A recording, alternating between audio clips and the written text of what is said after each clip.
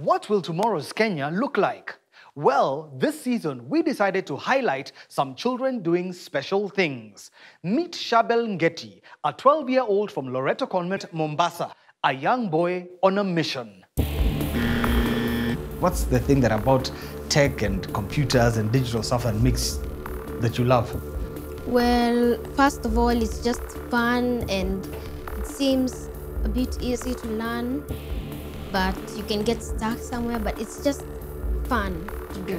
My name is Charbel Ng'eti. Um, I'm 12 years old. I school in Loreto Convent, Mombasa. Since I was seven years old, my father used to take me to his office where he would teach, where he does his graphic design work. I was really curious to know what he, to know how he does it. So I asked him to teach me, and now that he taught me, I'm able to handle it. Charbel Media will be will be dealing with the latest top-notch technology of web design, app development, graphic design, and video editing. Currently, I have created two websites. The first website is for a car selling company called Gede Motors. The second website is my own as portfolio and CV. There are two more websites coming up that I'm supposed to create. One is for multi-source contractors. The second website is for my mother's company. I would want you to mentor me throughout my journey till I am able to handle it on my own.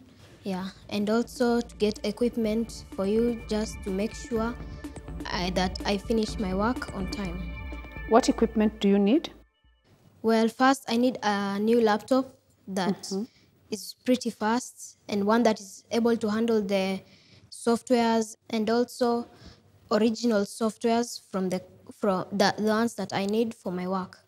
How much have you charged for multi-source? I haven't started it yet, but the one for Gede Motors, it was paid for 25,000. So what software do you use for those websites and for design? Well, I use text editors to do the coding and to make the, the user interface and the back end of the website. So who taught you how to use that software? I was enrolled in a program called Tech Kidz Africa. That's where I got to learn all these skills. Where do you see yourself in one year or two years' time with the right mentoring?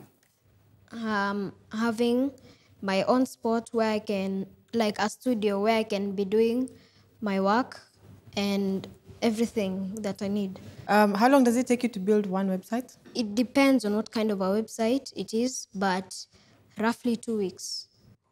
And which part have you enjoyed most? I mostly enjoy the back end and the styling of it. So, how, do you know how much money you need? Mm, roughly 95,000. Charbel, I'm sorry, for me, I have to say I'm out because this is an area I'm not very well versed. Okay? I'm not good in these technology things. When it comes to buying equipment, the software, the hardware, the kind of language you're talking, I'm just impressed. And I think you can get support from somebody who really understands it better than me. Okay? Charbel, I think the two people you really need to be speaking to are Mike and Chris. they will give you very good mentorship in this area. Because we can't talk for ourselves. I'm just initiating the discussion. I think it's very impressive what you know you've been uh, what you've been doing. I'm out. It's okay. Thank you. So Charbel, here's what I'll do for you. I'll buy you the laptop. All right? And I hope somebody else is going to buy the software. Thank you. All right? So I'm in. So I'll get you the software. So we'll work with Mike to make sure when the laptop comes, it has everything that you need in it. Thank you very much. Very welcome.